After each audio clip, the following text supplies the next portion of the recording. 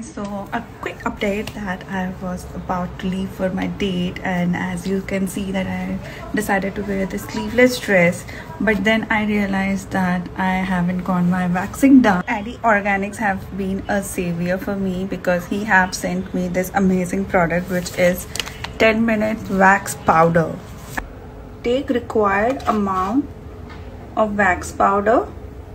Use milk or rose water or simply water to make the I'm not having spatula so I'm using it with the spoon. So guys I have left it for 10 minutes to dry and after that you have to just wipe it off.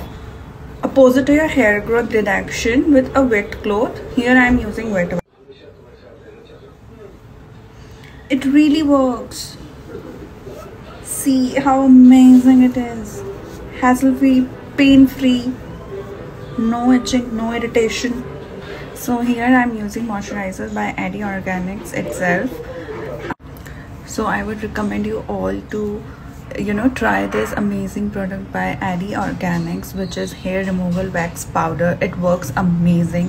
For all skin type it doesn't give any irritation or itchingness